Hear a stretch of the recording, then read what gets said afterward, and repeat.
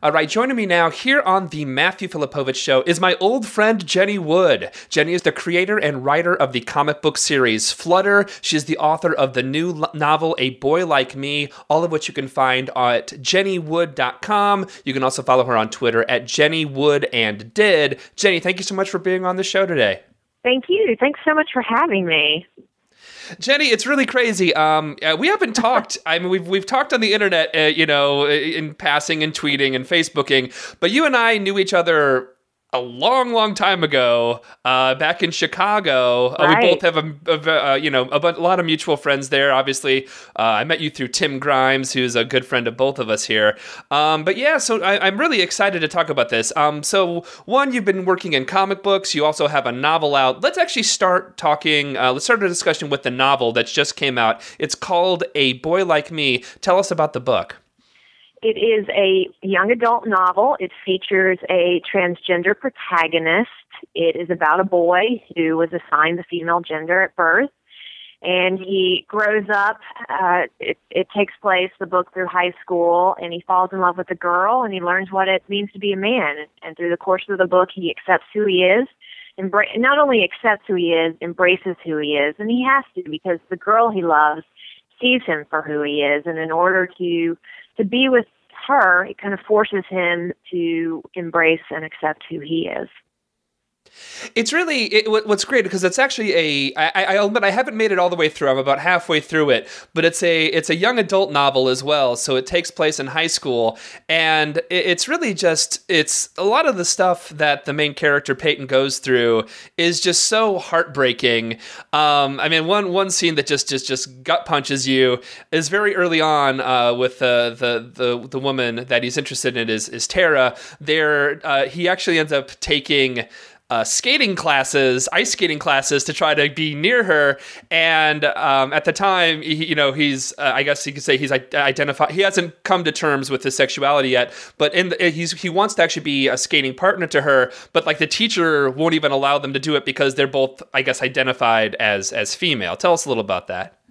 Yeah, I mean, you know, the thing that Peyton's going, he's going through a lot. He's going through, um, he doesn't understand because he doesn't have the tools of language. Uh, you know, he's he's very sheltered, very naive. He's he's growing up in a small uh, conservative southern town. His parents are, are very sheltered and naive to the ways of the world too, uh, and the and the, the people in his life around him. There's also he doesn't want to know what's going on. He's afraid of it I- internally with him, so he doesn't even know at that point in the book the difference between sexual orientation and gender identity. He doesn't know that they're two separate things.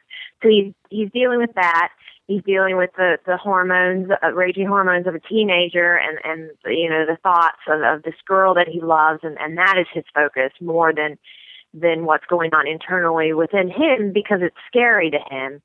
Uh, so he goes to this class, and just like everywhere in this small town, they think he's a lesbian uh, because he was assigned female gender at birth and because, you know, to the world, he's a girl who likes this other girl.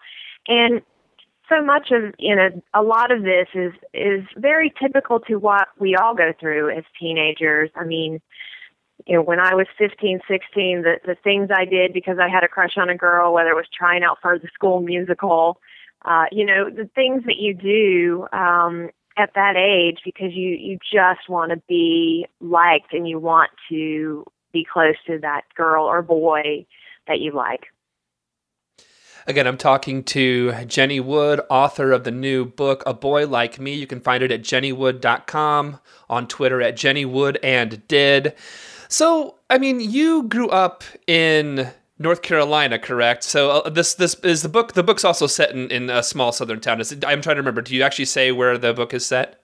I created a fictional town, Wiley, North Carolina, mm. because yeah. just as a writer, when when working on fiction, creating a fictional town lets you just play and create a world. And you can take more liberties. If, if you're doing an actual town, you, you feel the need to stick to what's actually there. So it's a town uh, similar to the town that I grew up in, but fictional.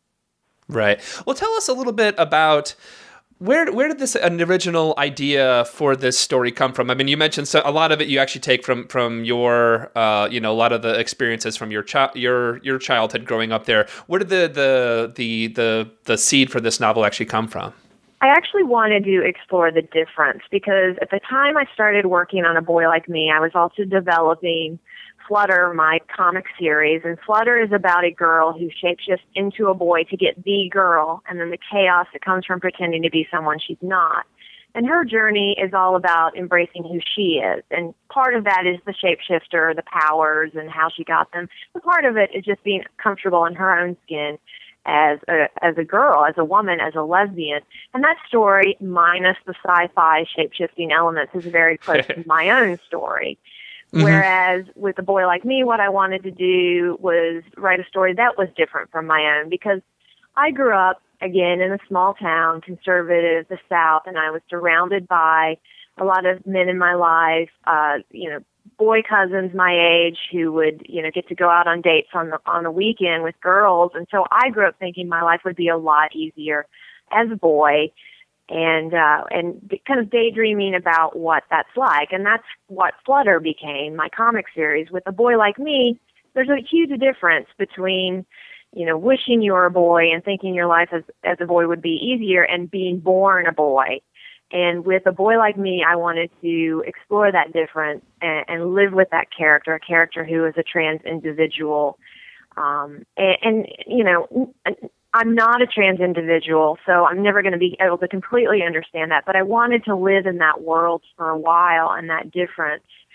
Uh, it, you know, not being a trans individual, being a cisgender uh, woman, I, uh, it's still a, a issue. Transgender issues, trans, the transgender community. It's something that, that matters greatly to me, and I did a ton of research for it. But it definitely was it was a world I wanted to explore and live in because it is different from my own.